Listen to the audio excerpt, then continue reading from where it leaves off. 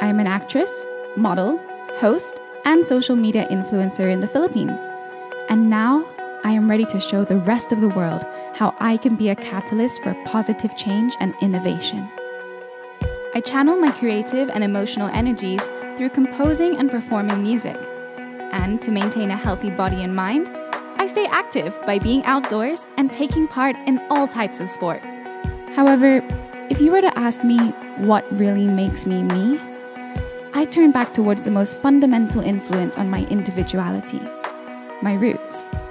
Being half Filipina, half British, raised in Dubai, and now living in this beautiful country, I have developed an open mind and fascination for all types of cultures and ideas. I am Kelly Day, representing the Philippines in Miss Eco International 2020. I can't wait to participate in Egypt's environmental campaigns and to learn how sustainability is encouraged through their governmental and educational programs. I believe that sharing this knowledge is vital for advancing ecotourism around the globe.